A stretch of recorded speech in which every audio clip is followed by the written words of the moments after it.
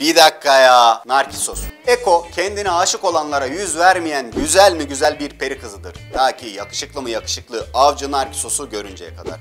Görür ve vurulur. Ama etme bulma dünyası ahını aldığı bütün heriflerin intikamını alırcasına Narkisos da Eko'ya yüz vermez ve basar gider yoluna.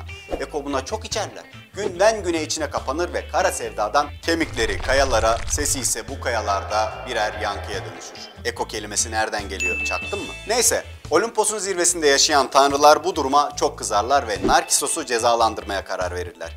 Yine bir gün ava çıkmış olan Narkisos çok susar ve nehrin kenarına gelir.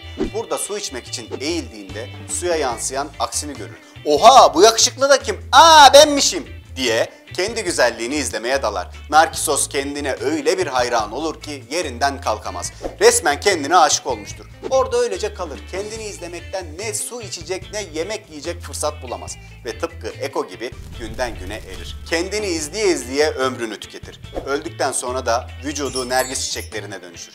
Kendine aşık Narkisos. Narsizm deyince aklına nar mı geliyordu? Gelmesin. Bak bu işte.